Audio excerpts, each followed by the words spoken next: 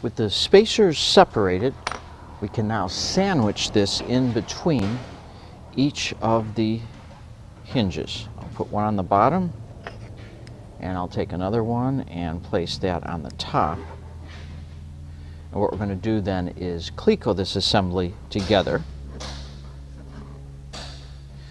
using one of our copper clecos. And that'll go through all three pieces like that. And I'll use another cleco over here. The reason we're doing this is we're now going to final drill through each of these five holes with our number 30 drill bit. And then we can take this apart and deburr all of the holes that we just drilled. And then we can put this back together and rivet it as per our directions. And there we go with the two clecos in it. Now I can go ahead and drill through all five holes. We can then take the other spacer and do exactly the same thing using any of the remaining two hinge plates.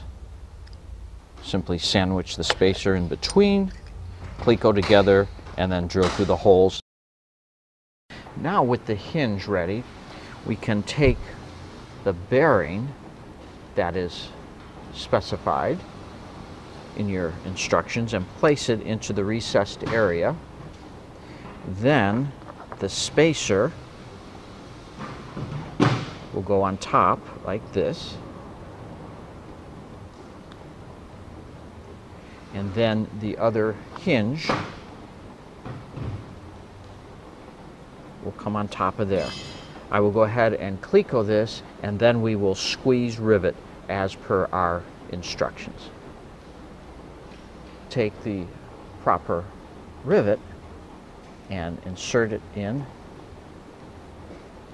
and we will now squeeze with our squeezer.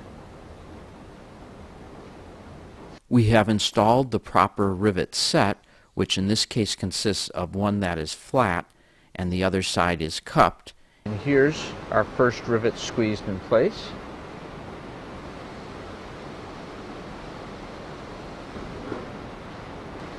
I'll go ahead now and finish the rest. I'll make sure I keep these clecoed tightly together while squeezing the rivets to make sure we don't get any gaps inside between the three pieces of the hinge.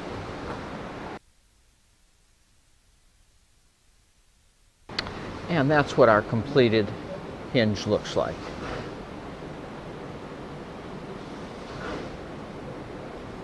And our bearing in the center. Now we'll repeat this for the other three pieces and make the other hinge with the bearing inside.